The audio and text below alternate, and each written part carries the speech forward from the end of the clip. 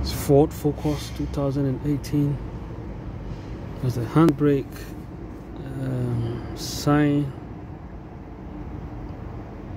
There's a handbrake sign. So if you pull out the handbrake, that sign will come on. If you pull it down, the handbrake will disappear.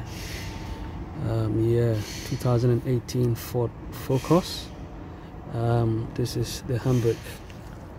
See that P at the console here. This is a driver's seat, and this P is the handbrake, and it's got the auto handbrake as well. So if you push it down,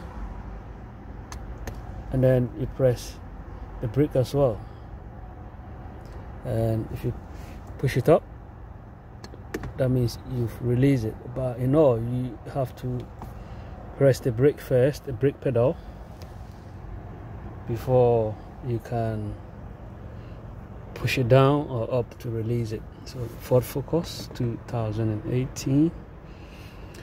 That is the hand brake.